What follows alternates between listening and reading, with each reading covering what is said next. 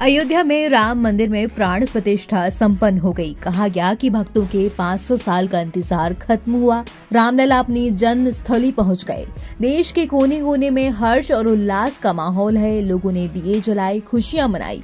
राम मंदिर की प्राण प्रतिष्ठा की धूम नेपाल तक में दिखाई दी।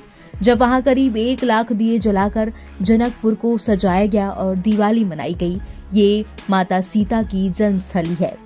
वहीं दूसरी तरफ़ एआईएमआईएम चीफ असदुद्दीन ओवैसी ने लोगों को 6 दिसंबर उन्नीस सौ बानवे का दिन याद दिलाया।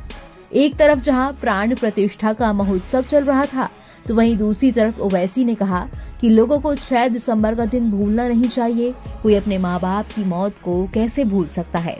सुनिए, क्या बोले ओवैसी? सोच ये है कि कोई 6 दिसंबर की बात नहीं करता, कोई जीबी पंथ की बात नहीं करता, कोई डिसेस की बात नहीं करता। और जब आप इन तमाम सियासी जमातों से पूछेंगे, क्यों नहीं बात कर तो बोलते अरे, भूल जाओ ना भाई तुम लोग।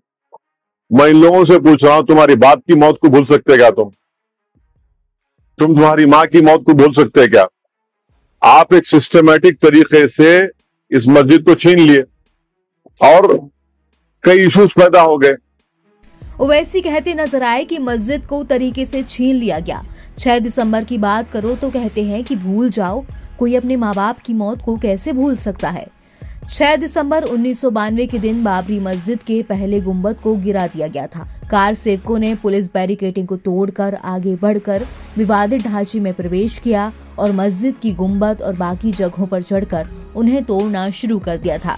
इस घटना के बाद मौजूदा कल्याण सिंह की सरकार को बर्खास्त कर दिया गया। मामले में केस लंबे समय तक चला, जिसके बाद 9 नवंबर को सुप्रीम कोर्ट ने फैसला सुनाया। और अब अयोध्या में राम मंदिर बन चुका है, जिसमें रामलला के लिए प्राण प्रतिष्ठा भी संपन्न हो चुकी है। एनबीटी ऑनलाइन की रिपोर्ट।